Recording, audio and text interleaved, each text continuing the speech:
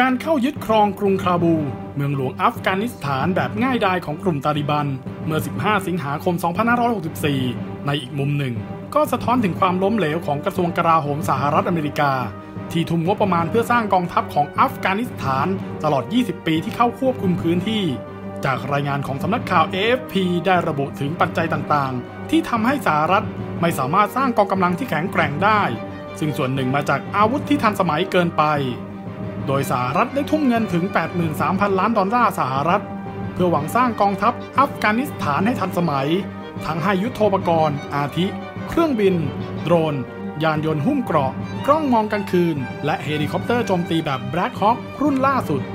แต่ปัญหาก็คือกำลังพลจำนวนมากกลับไม่รู้หนังสือ และปัญหาโครงสร้างพื้นฐานของประเทศ จนยุทโธปกรณ์ล้ำยุคเหล่านั้น ก็กลายเป็นสิ่งที่เกินกำลังความสามารถของกองทัพลอยด์ ออสติน รัฐมนตรีว่าการกระทรวงกลาโหมเคยบอกว่า จะช่วยฝึกอบรมกองทัพอากาศเสมือนจริง ผ่านระบบซูม หลังจากถอนกำลังทหาร แต่ก็ดูจะเป็นเรื่องมายา เพราะฝ่ายอัฟกานิสถานจะต้องมีระบบคอมพิวเตอร์ หรือสมาร์ทโฟนที่เชื่อมต่อ Wi-Fi ให้ดีเสียก่อน นอกจากนี้กลาโหมยังคุยถึงความได้เปรียบของกองกำลังอัฟกานิสถาน มีตำรวจและทหารรวมกันถึง 3 0 0แสนนาย ขณะที่ตาลิบันมีนักรบเพียงแค่ 70,000 คน ซึ่งศูนย์ต่อต้านการก่อการร้ายของโรงเรียนในร้อยเวสต์พอยต์ก็เชื่อว่าเป็นการแต่งตัวเลขสูงเกินจริง โดยชี้ถึงตัวเลขที่แท้จริงเมื่อตัดส่วนปีกย่อย และทหารอากาศ อาจมีทหารอัฟกันที่ได้รับการฝึกเพื่อสู้รบเพียงแค่ 96,000 คน ขณะที่กองทัพอัฟกานิสถานยังเจอปัญหากำลังพลหนีทัพ จนเป็นเรื่องปกติทำให้ต้องมีการสับเปลี่ยนกำลังใหม่ถึง 25%ในทุกปี นอกจากนี้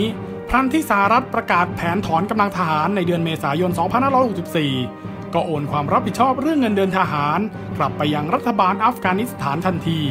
ทำให้ทหารหลายนาย พากันอดครวญผ่านสังคมออนไลน์ ถึงการไม่ได้รับเงินเดือนมาแล้วหลายเดือน แถมบางหน่วยยังไม่มีสเสบียง แม้กระทั่งกระสุนให้